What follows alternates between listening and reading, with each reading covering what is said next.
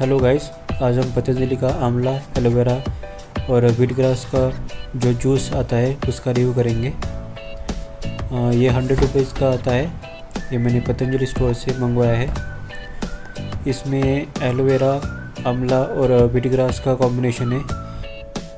इसमें 3.986 ग्राम एलोवेरा 3.96 ग्राम आंवला और 1.9 ग्राम जो वीट ग्रास है। उसका कॉम्बिनेशन किया हुआ है।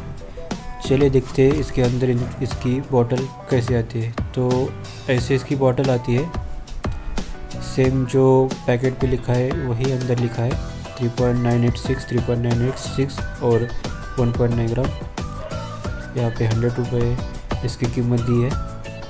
चलिए देखते हैं इसके फ़ायदे क्या है और इसको कैसे लेना है।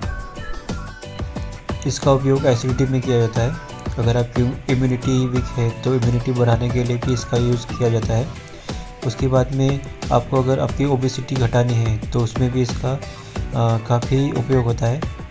उसके बाद में अगर आपको कॉन्स्टिपेशन की प्रॉब्लम है तो उसके लिए भी इसका यूज़ किया जाता है।